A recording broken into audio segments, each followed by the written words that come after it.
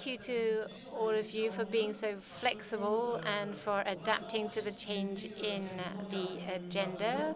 We have our grand prize, uh, who we've got our grand prize now because our award winner came back via taxi from Gare de Lyon.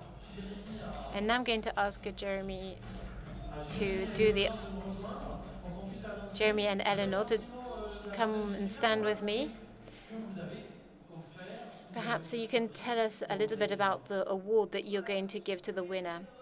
Hi, everybody. It's a huge pleasure for me to be able to uh, confer this award on the winner. Uh, we, as web distributors, uh, we'll be able to tell you about uh, the uh, promotion of uh, this project, and it will be distributed across all our network of websites and distributor outlets. So that's 5,000 outlets. It's our way of helping the project being promoted. So we're going to announce the winner. It's the grand prize, uh, so there's only one winner. And it was an endless debate, but in this case, it was particularly uh, difficult debate because Bruno, we, we had a lot of pressure from Bruno to finish the debate. There were all the projects were really quite remarkable um, and very interesting and innovative. So we selected sequenced. You can stand up now. This project in virtual reality, animated virtual reality, with a lot of uh, interactive promise. So congratulations. Thank you very much. Uh, thank you to all the team. It's an honor to win this prize. Do you want to tell us a little bit more again about your program? Because you did do a pitch yesterday afternoon, but not everybody was here. Maybe we can have another look at the trailer, and then you can tell us a little bit more about your project.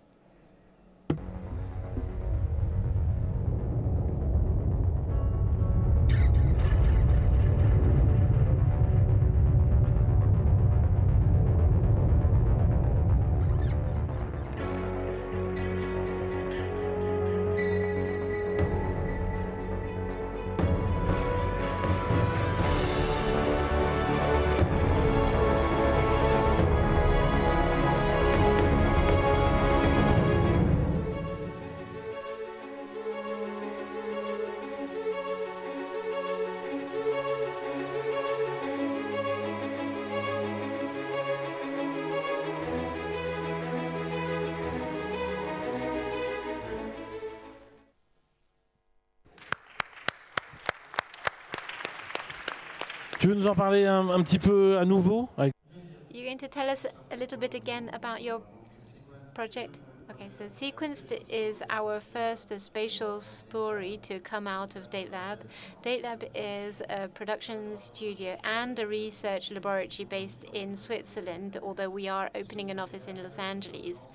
This is going to be the spearhead for our gaze technology, which allows us to tell a story uh, through a 360 degree uh, view using all kinds of touch devices, uh, iPads, uh, iPhones, etc. Sequenced is a future story in 2065 uh, after the uh, polar shift, i.e., the magnetic poles which switch.